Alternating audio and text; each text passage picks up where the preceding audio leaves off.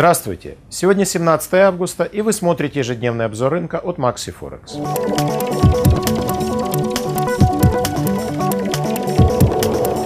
Вчера в фокусе внимания мировых рынков оказалась новость о том, что по результатам роста ВВП во втором квартале Япония официально перестала быть второй по величине мировой экономикой, уступив этот статус Китаю.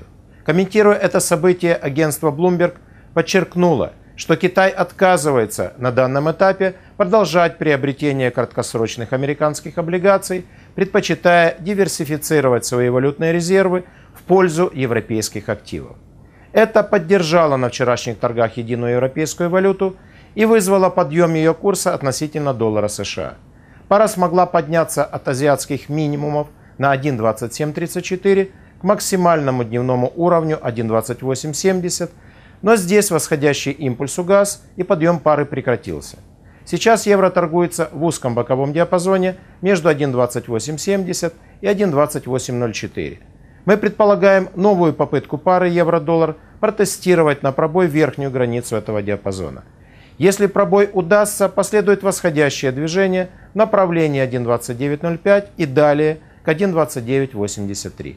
Если же пробой не подтвердится, пора возобновить снижение целевым уровнем 1.2734, 1.2697, 1.2611 и ниже.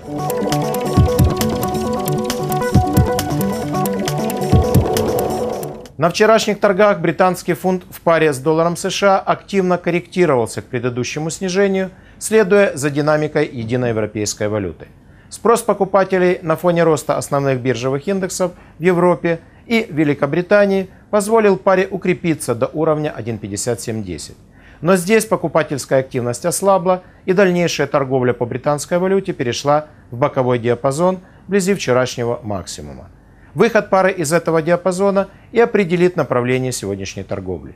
В случае пробоя верхней границы пара попытается преодолеть следующий ценовой уровень, отмеченный активностью продавцов, на отметке 1.5726 а затем, возможно, и 1.5827. Если пробой диапазона в верхнюю сторону не удастся, возобновится снижение пары целевым уровнем 1.5630, 1.5587, 1.5535 и далее в направлении 1.5435. экономической статистике вторника Великобритания опубликует индексы потребительских и розничных цен за июль месяц. Показатели останутся, по всей видимости, на уровне предыдущих значений. Евросоюз представит итоги платежного баланса за июнь, который, вероятно, покажет снижение дефицита текущего счета, а также данные по индексу экономических настроений инвесторов. Целый блок показателей будет опубликован сегодня в США. Среди них количество разрешений на строительство нового жилья и объемы нового строительства, объем промышленного производства, загрузка производственных мощностей и индексы производственных цен. По всем этим показателям ожидается рост по сравнению с предыдущими периодами. Более подробную информацию по движению валют на рынке смотрите на сайте maxiforex.ru в разделе «Прогнозы». Желаем вам удачных и прибыльных торгов на рынке Форекс.